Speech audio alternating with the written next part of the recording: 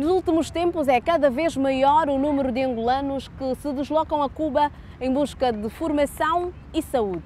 Só na Ilha de Santiago existem cerca de 600 angolanos matriculados no curso de medicina. A ilha de Cuba tem sido o destino de centenas de angolanos quando o assunto é saúde e educação. Este é o cenário de todas as quintas-feiras no Aeroporto Internacional José Martim.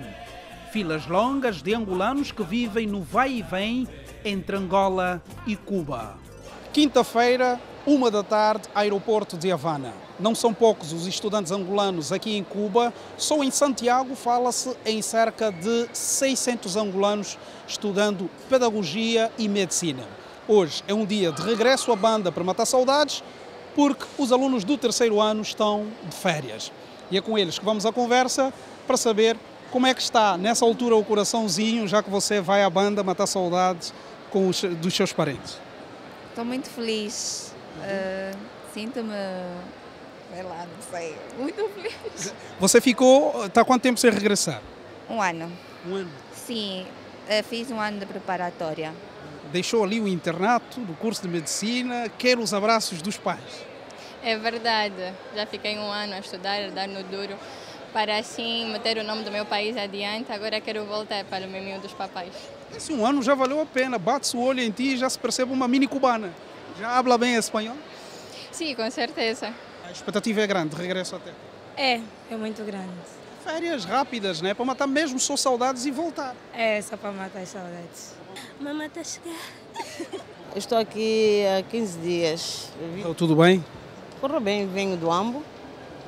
Vim fazer consulta. Normalmente tenho que fazer uma consulta de rotina. E ver o verão. Ir até Varadeiro, Santiago. Não. E vim cá fazer o doutoramento. E como é que estão a correr as coisas? Bem, já fiz dois exames, já passei e vou fazer agora o terceiro exame mínimo de problemas sociais.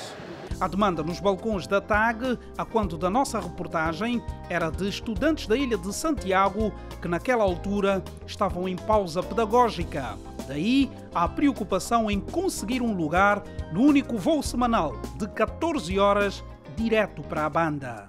A nossa tag também está um pouquinho complicado com as passagens e tudo mais. Tive que acumular porque eu terminei as provas há tempos e não me deu tempo de comprar a passagem, então estou na lista de espera.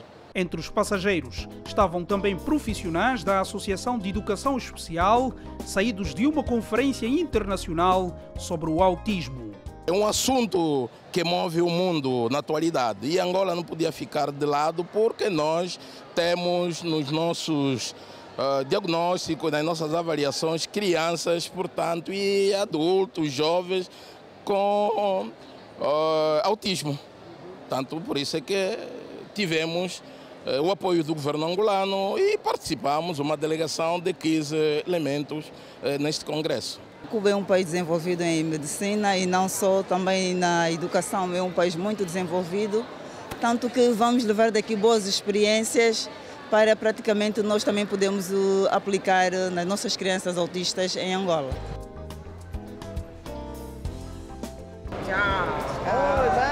Enquanto uns buscam pelo embarque que os levará de volta à casa, um novo dia ainda vai nascer para alguém que na enamorada ilha de Havana busca por recuperação completa de uma lesão que o impede de andar sem o apoio das muletas.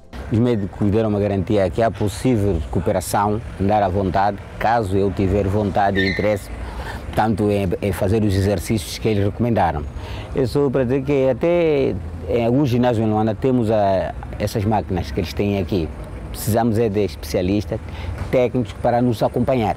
Fernando César Batista contraiu paralisia parcial nos membros inferiores devido à infecção atmosférica pelo vírus de Guillain-Barré. Tive portanto, até a sorte de estar uma paralisia apenas parcial, que é na perna direita.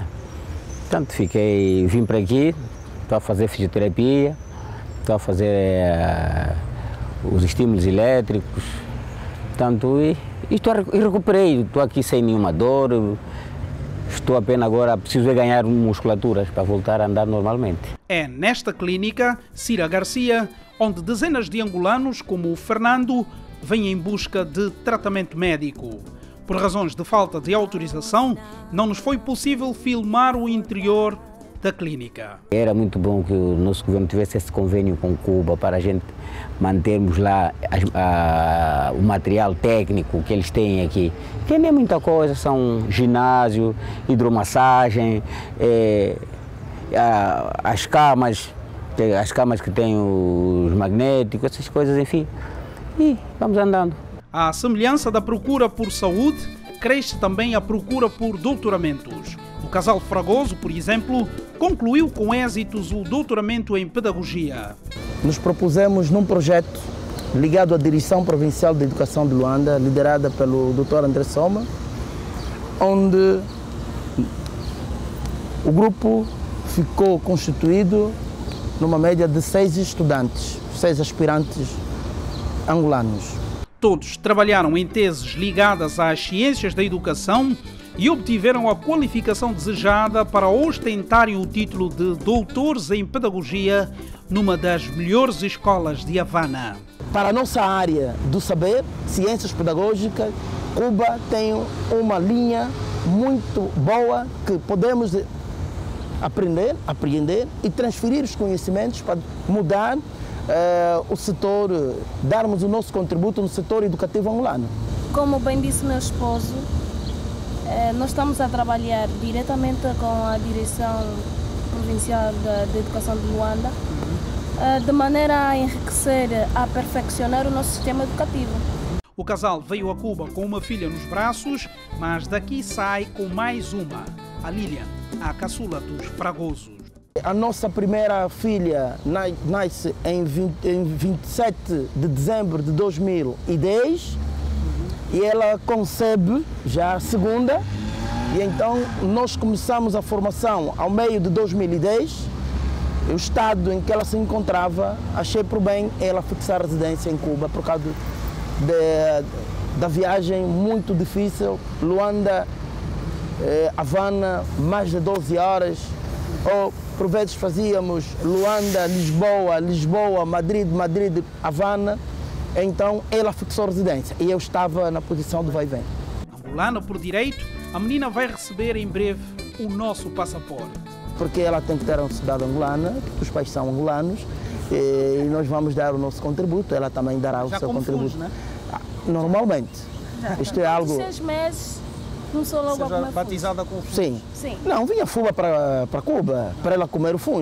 E porque o pai também é, é o prato que mais gosta. Da segunda a domingo. Sim, sem nenhum problema. Isso aqui é algo que nos viu nascer e estamos aqui com essa energia, esta força, e para que o FUNS contribuiu de facto para que isso fosse, possível. Sim. Determinados, os filhos de Angola em Cuba colocam-se à disposição do país para o serviço público que os espera. Como angolanos, não nos resta outra alternativa senão contribuirmos e apoiarmos o executivo angolano neste grande propósito de desenvolver, desenvolver o país e que mais dois angolanos estão disponíveis para dar o seu contributo. No setor que nos viu nascer, o setor da educação, que sou professor há mais de 20 anos, estamos ali para dar o nosso contributo. Ainda há muita coisa por se fazer. Graças a Deus que Angola tem muita, muita, muita juventude com força para poder desenvolver o nosso país. E nós somos um deles.